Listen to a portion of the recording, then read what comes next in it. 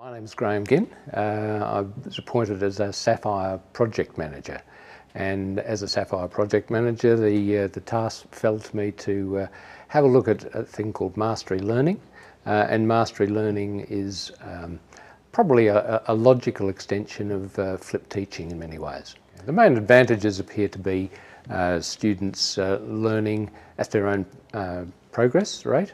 they can move through um, work as quickly or as slowly as they uh, would desire. Uh, mastery learning seems to work really well with students uh, who come in with a, a, very restricted learning set.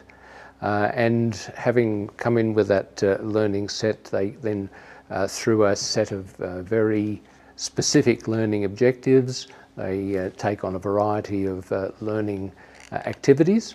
they might be videos, they might be practical sessions, they might be uh, going to do some readings, they might be uh, simply engaging with other students. Uh, and they pick up uh, a variety of skills. I do believe that uh, one of the uh, outcomes of all of this is going to be a, a pretty substantial change in structure for learning across the university.